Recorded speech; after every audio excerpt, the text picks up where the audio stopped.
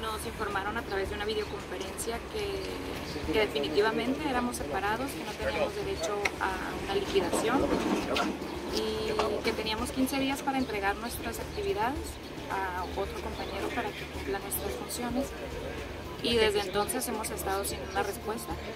Empezamos con esta actividad y, seguimos, la verdad que seguimos sin, sin, una respuesta del gobierno federal de por qué nos están violentando de esta forma, porque es una violencia a nuestros derechos como trabajador. Y, y la verdad que somos, somos 23 personas que estamos siendo afectadas en este momento, madres de familia, padres que, asumen los costos de, de, su hogar. Somos personas que estamos perdiendo nuestros servicios médicos.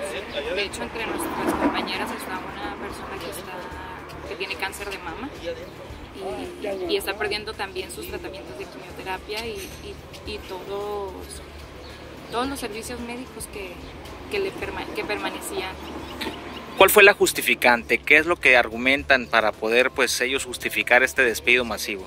Que por cuestiones de austeridad el, gobierno federal prescinde de nosotros, pero ayer estábamos escuchando una, una opinión del, del presidente donde decía que, que teníamos que justificar nuestros salarios.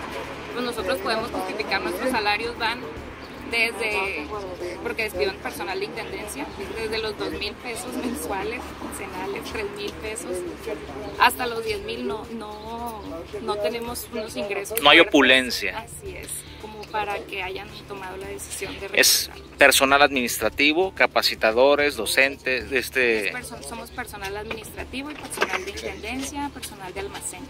Son los que están siendo afectados por esta política de austeridad. ¿Qué va, qué va a proseguir? ¿Qué acciones tienen contempladas seguir ustedes? Ahorita continuamos en, pláticas, eh, estamos siendo persuadidos por el, delegado de CONAFE Sinaloa para abrir las instalaciones el día de hoy.